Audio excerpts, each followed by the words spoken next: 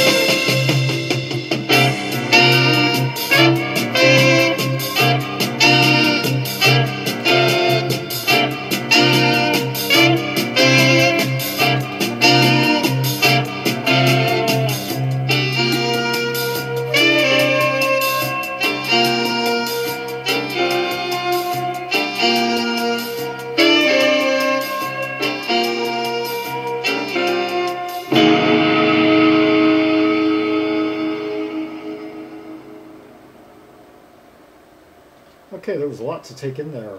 Feigenblatt, yeah. Um, began with this rainy wind in with piano softly playing notes under this billowing, airy sax, and um, gradually layering into one another some jazzy barroom notes on those piano keys under the rain, the kind of sound of late night winter streets. And then this clickety drum faded in. And then finally, around uh, 25 seconds into the track or so, this tight flowing cadence emerged amid the strong backbeat.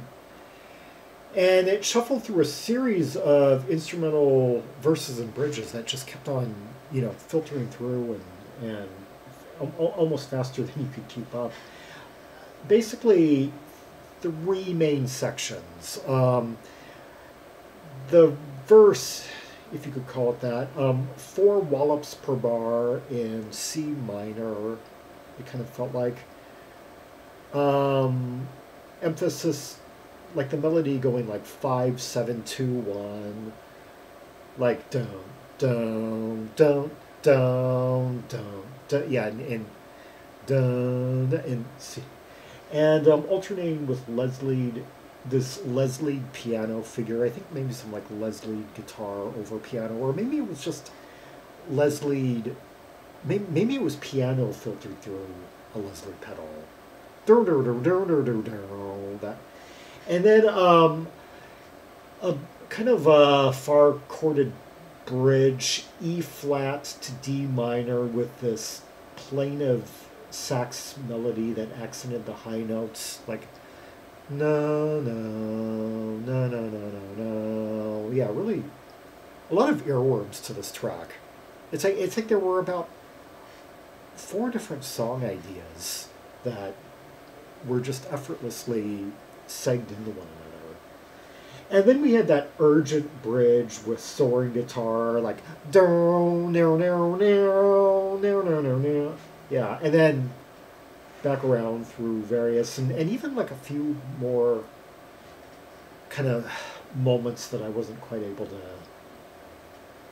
jot down. But um yeah, one of their instrumental tracks, um, they tended to I think they the balance of instrumentals was a bit higher on their first album.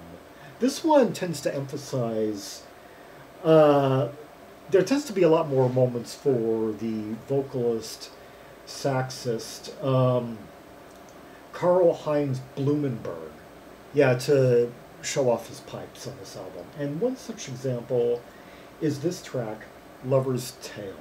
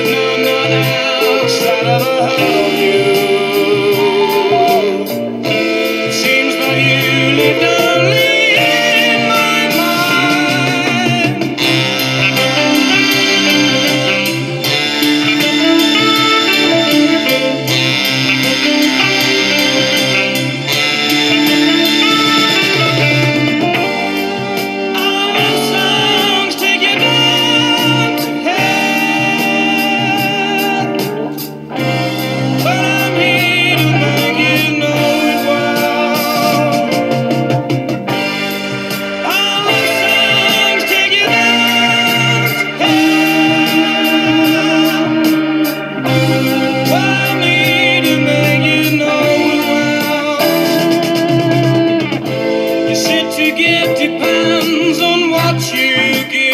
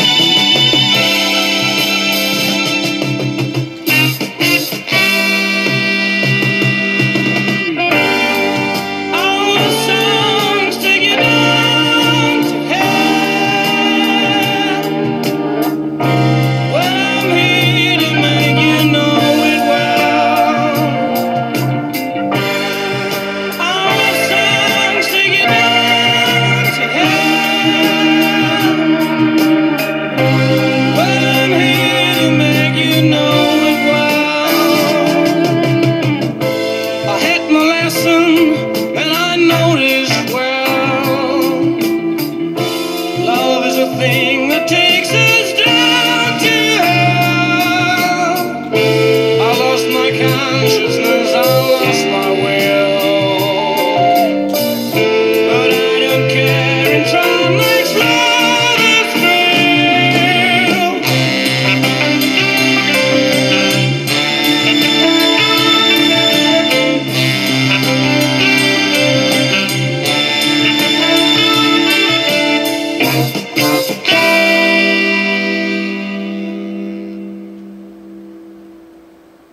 Okay, and that was Lover's Tale by Altona. Yeah, explore, uh, showing a very different side of the band here.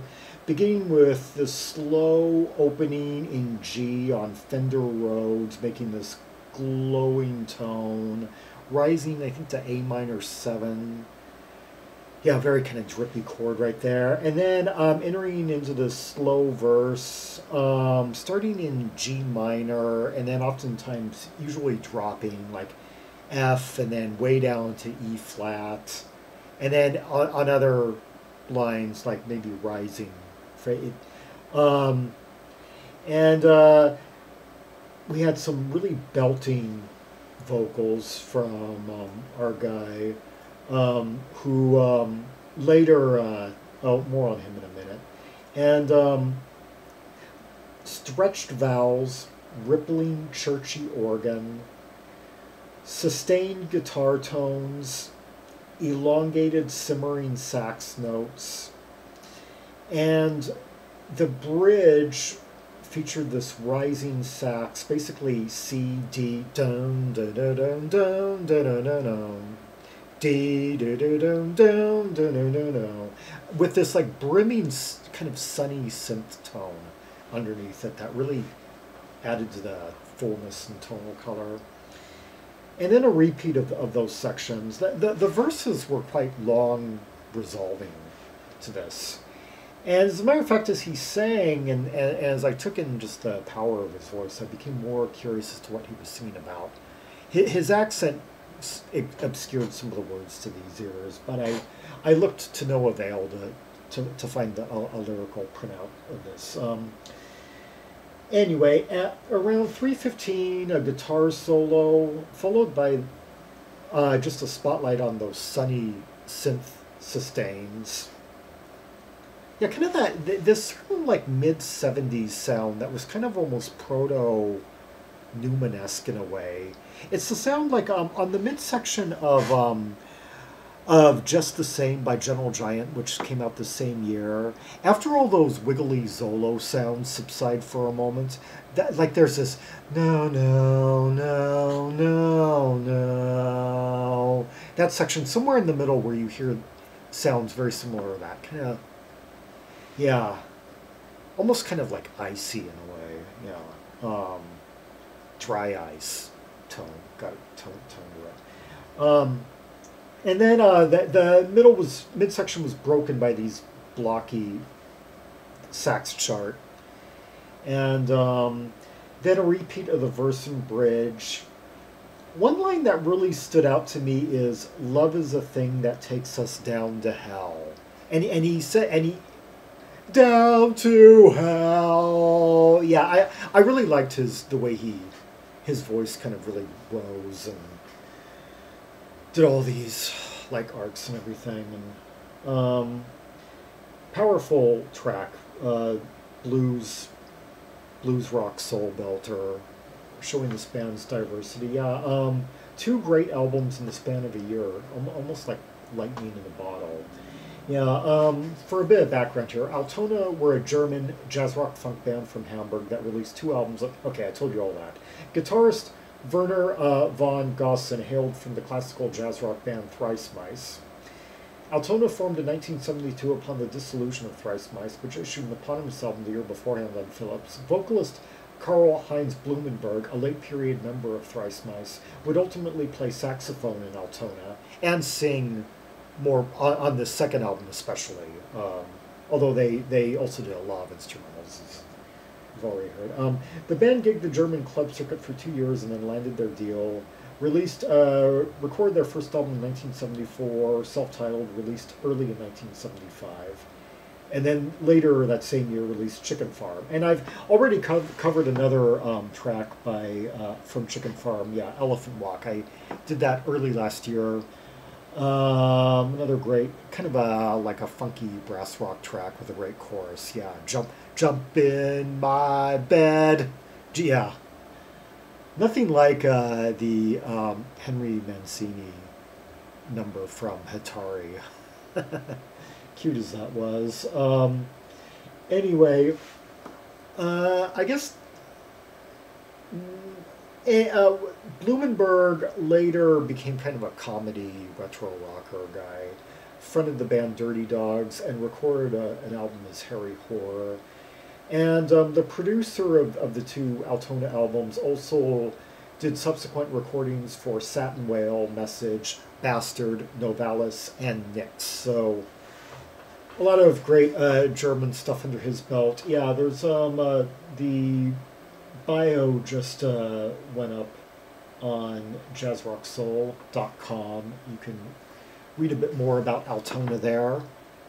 Anyway, for more Rubies and Sapphires from the two albums by Altona, see the directory of albums by German artists linked in the description below.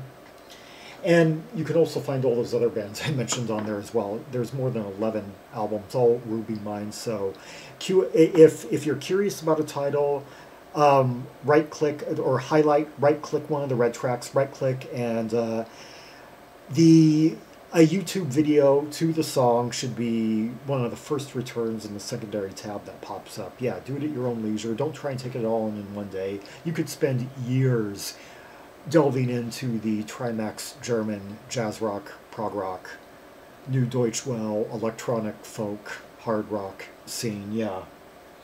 Like and subscribe, follow me on social media, share the video, and leave a comment if there are any observations you have about the two tracks we just heard. The uh, musical sections, the interplay, the soloing, yeah, the instrumentation, who had the best break, um, the vocals, the lyrics to the second track, if you caught them better than I did, yeah, what was the best moment, the most intense, the most profound. And until next time, this is Zaragon, the world's most ear travel Trimax signing off.